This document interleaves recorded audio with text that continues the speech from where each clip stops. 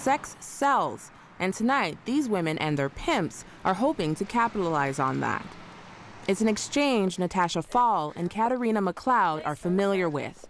They're former sex trade workers. I first entered into the sex trade industry at 14 years old. Uh, I'd been introduced by a few girls who had already been involved. They glamorized what it really was about, they minimized the violence, and they talked about the money that I could make. In the beginning, it was money because I was a single mom mm-hmm. and I had to support kids. I didn't have an education, so I, I justified my being in the business by, you know, my kids. Um, as time went on, you sort of get addicted to the lifestyle, the money, and then as time went on further, you feel like you amount to nothing. Mm-hmm. What am I going to do um, if I leave the business? I have no education. I don't have time to go back to school because I need to make money. Though prostitution is a reality we don't often like to see, technically, it's not illegal. The uh, simple act of prostitution is not mm -hmm. illegal in Canada. However, things that uh, are ancillary to prostitution, such as running a bawdy house, living off the avails, and street solicitation, those things are illegal. At least that was the case. In September, Ontario Superior Court Justice Susan Himel effectively decriminalized adult prostitution in Canada by striking down three provisions in the Criminal Code the existing laws as we know them were introduced in 1985, mm-hmm. but prostitution laws go back to uh, the 1880s when they were introduced in the criminal code. They've changed forming um, over the decades, but uh, they've been there mostly to protect vulnerable women and children. Ironically, the provisions designed to protect women were struck down thanks to three sex trade workers who claimed the provisions violated so, their um, rights. well, in this case, the claim for unconstitutionality was that they infringed specific sections mm -hmm. of the Charter. And those sections were Section 7, dealing with the uh, right to life, liberty, and security of the person, and also the um, Section 2B provisions that deal with freedom of expression through forms of communication. Mm-hmm. And uh, in this case, the street solicitation was a form of communication. Christian Legal Fellowship, along with the Catholic Civil Rights League and Real Women of Canada, intervened in the case, arguing the law should be upheld. We looked at it from the aspect of harm to women and also the commodification of women through the selling of their bodies mm-hmm. and the harm in general that this brings not only to children and to women, but those that are exposed to it.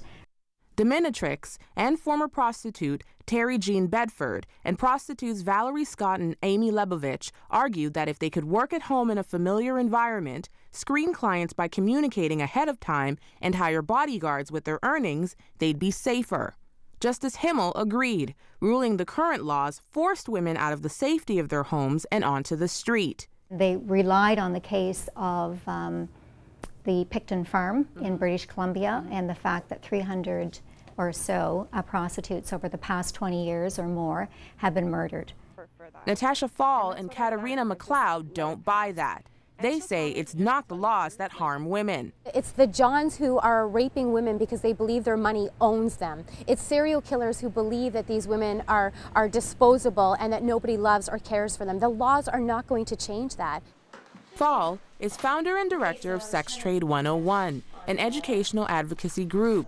She's counseled over 700 sex trade workers and works with the Toronto Police Sex Crimes Unit.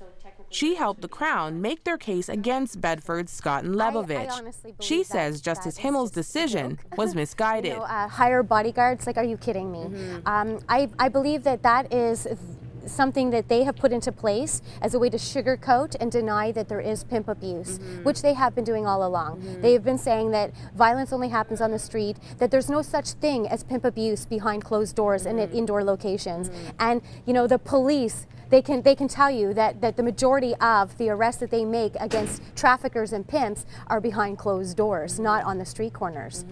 Armand La Barge can back that up.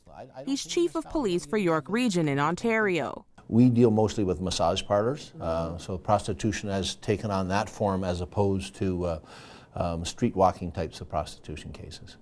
Regardless of where it happens, prostitution is inherently unsafe, he says. Sex workers are often prime targets for violent assaults and serial killers. The fact that you're, you're getting alone with somebody that you don't know, somebody that uh, might well have a knife, might well have a gun, mm-hmm. might well resort to violence uh, with his hands, um, puts you in a very vulnerable situation, and it's dangerous, period. York Region officers can still lay child prostitution, procuring, human trafficking, and municipal bylaws if the ruling isn't overturned, he says. We realized too when we had an explosion of massage parlors that if we were going to use the criminal code legislation to try to eradicate these um, enterprises which were fronts for prostitution in our communities that we couldn't use the criminal code. That's why we went to the municipalities and we enacted, uh, had them enact bylaws that regulated where they were, regulated their hours, regulated the age of the attendants, regulated things that also made it easier for us to investigate that there were no violations of them. And uh, none of them were complying with that. We went from like 150 uh, massage parlors in York Region in 2002 to six today but his officers are concerned about what could happen to the communities they've sworn to protect. I don't think Canada is ready for five-story brothels like you'll see in, in Germany, and I don't think uh, our community is prepared uh, for what comes with that. And I don't think any of our community leaders want to start to have to decide, okay, which neighborhood is going to get this brothel? When we deal with prostitution, we're not just dealing with prostitution, there's violence associated to it. We've seen murders and robberies and, and serious assaults and sexual assaults. After 17 years working as a massage parlor prostitute, Katarina Macleod says she's witnessed and been on the receiving end of that violence. I've watched girls be beat like men, you know, like held by their throats and beaten by men, and the owners do nothing because the customer's always right. So, you know, there's times I'd leave a room beaten up or hurt, and my boss would make me go right back in. You know, didn't care. So bringing the girls inside, how is that safer? And while she admits two years ago she would have been happy about the ruling, today she's heartbroken. Uh, she's making a bad decision. She is. This is one of the worst things that I've ever gone through in my life. And to be able to come out of it and be where I am today is by the grace of God because it ruins you. It takes everything from you. And these women can say that they want it and they're for it. They're not. They're killing themselves and they know it. There's not one girl who is comes from a good family or educated family who would want this. They just wouldn't. Though Bedford, Scott, and Lebovitch claim the ruling is an emancipation day for sex trade workers, Macleod and Falle disagree. The average age that someone gets involved in the sex trade industry is 13 to 16 years old. There's no consent in that. Mm -hmm. If it's to feed your children uh, because you, you know, you have no money to put food on the table, how is that a real choice? And I believe that it's the minority voice that we're hearing right now. How are you feeling today? Though Falle is concerned about Himel's ruling, she agrees with one thing: Canada's prostitution laws need to change. Because prostitution is an industry based on supply and demand, she says we need to adopt the Swedish model. It criminalizes the purchase, but not the sale of sex by jailing the Johns. Street prostitution in Sweden has been cut in half, and they've seen no significant increase in indoor or internet prostitution. This week, several interveners, as well as the Ontario and federal governments, will present arguments before the Ontario Court of Appeal. They'll ask for a reversal of Justice Himel's decision. In the meantime, the laws stay the same.